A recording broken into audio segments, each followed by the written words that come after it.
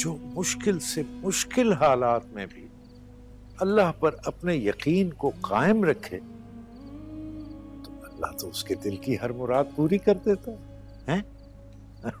यकीन और पुख्ता हो जाता है कि अल्लाह हमारी शहरक से करीब है। हर पुकार सुनता है। बेशक बेशक। बस शर्त सिर्फ़ एक है कि उसे सच्चे दिल से पुकारा। सच्चे दिल से। सबर और शुक्र का बहुत बड़ा इनाम मिला मुझे।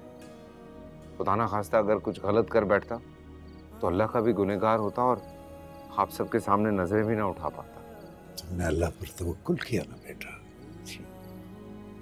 उस पर अपने यकीन के रिश्ते को मज़बूत रख।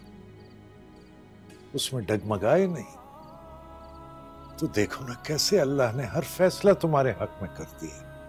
आप दुआ किया करें मेरे लिए कि इसी तरह से हमेशा अल्लाह पे मेरा तवक्कुल कायम रहे। आमीन। सुम्मा आमीन। तुम देखो ना बेटा हज़रत इब्राहिम अलैहिस्सलाम तवक्कुल किया ना उन्होंने अल्लाह पर। तो कैसे उनके लिए आतिश नमरूद को सर्द कर दी?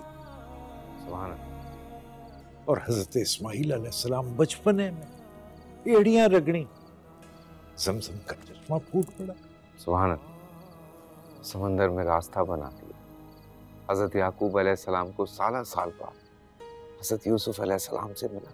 सुभान अल्लाह सुभान अल्लाह यही मेरे अल्लाह की शान है। हज़रत नूह अलैहिस्सलाम की कश्ती को नुकसान के बावजूद सख्त तूफ़ान में सही सलामत किनारे पर लगा दिया। सुभान। मोमिन बेटा अल्लाह पर अपने रिश्ते को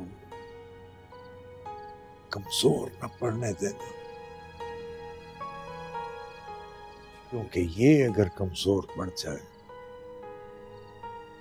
तो इंसान न दुनिया का रहता है न दीन का।